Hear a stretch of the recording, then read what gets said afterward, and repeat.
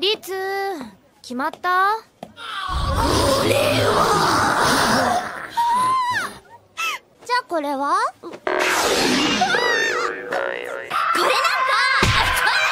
うしてそんなものばっかりなんだ！だな。せっかく二人いるんだしミオも一曲ぐらいやった方がいいんじゃないか？ほらハイタッチ！やだ！絶対嫌！ミオちゃん。でも前のライブで評判良かったしやだ！あんなアクシデントはもう起こらないって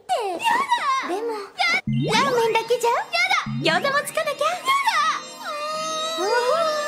すごい拒否反応だな。おい。